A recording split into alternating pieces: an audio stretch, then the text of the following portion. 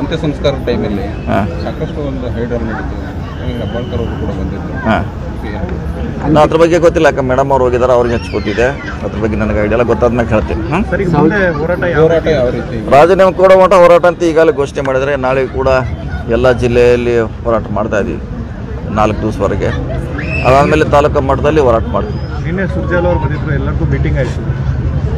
ಯಾವ ರೀತಿ ಹೋರಾಟ ತಗೊಂಡು ಅಲ್ಲ ಈಗಾಗಲೇ ಅದೆಲ್ಲ ಓಪನ್ ಆಗಿದೆ. ಓಪನ್ ಸೀಕ್ರೆಟ್ ಇದೆ. ಯಾವ ರೀತಿ ಮಾಡ್ಬೇಕಂತ ಆದೇಶ ಮಾಡಿದ್ದಾರೆ. ಆ ಪ್ರಕಾರ ನಾವು ಹೋರಾಟವನ್ನು ಮಾಡ್ತೀವಿ. ಮಾಡ್ಬೇಕಲ್ಲ ಹೆಸರಿದ್ರು ಕೂಡ ಯಾಕೆ ಮಾಡಬೇಕಲ್ಲ ಮಾಡಲೇಬೇಕು. ಬೇರೆಯವ್ರಿಗೆ ಎಫ್ ಐ ಆರ್ ಆದರೆ ರಾಜೀನಾಮೆ ತೊಗೊಳ್ತಾರೆ. ಎಫ್ ಐ ಆರ್ ಆಗೋಕ್ಕಿಂತ ಮುಂಚೆನೇ ಮತ್ತು ಇದು ಎಫ್ ಐ ಆರ್ ಆಗಿದೆ. ಅವರು ಹೆಂಡತಿ ಮಕ್ಕಳು ಅವರ ಸಂಬಂಧಿಕರು ಓಪನ್ ಸ್ಟೇಟ್ಮೆಂಟ್ ಕೊಡ್ತಾ ಇದ್ದಾರೆ. ಈಗ ಸದ್ಯಕ್ಕೆ ಅಷ್ಟೇ ಸಾಕು. ಮುಂದೆ ಕಾನೂನಲ್ಲಿ ಏನಿದೆ ಕೋರ್ಟ್ನಲ್ಲಿ ಅದು ಬೇರೆ. ಈಗ ಅವರ ಸ್ವಂತ ಸ್ವತಃ ಹೆಂಡತಿನ ಹೇಳ್ತಿದ್ದಾಳೆ.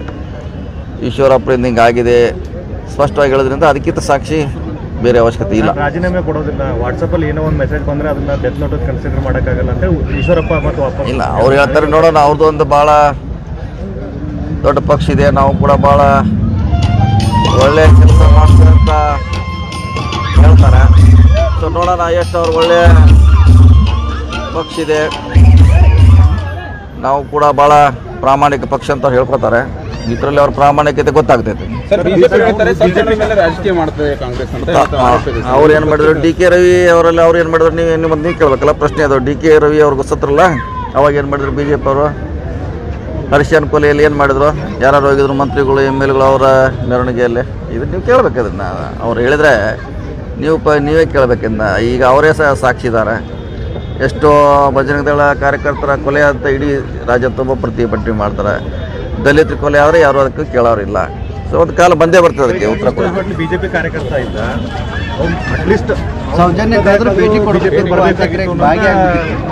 B J P ಯಾವಾಗಲೂ ಯೂಸ್ ಆಯ್ತು ಥ್ರೋ ಇವರೊಬ್ಬರೇ ಎಲ್ಲ ಭಾಳಷ್ಟು ಜನ ಸಂಘ ಪರಿವಾರದಿಂದ ಬಿಟ್ಟು ಬಂದಿದ್ದಾರೆ. ಅವ್ರ ಭಾಷೆನ ಕೇಳಿ ನೀವು. ಯೂಟ್ಯೂಬಲ್ಲಿ ಇದೆ ಅವ್ರ ಭಾಷೆನ. ಯೂಸ್ ಮಾತ್ರ ಮಾಡ್ಕೋತಾರೆ.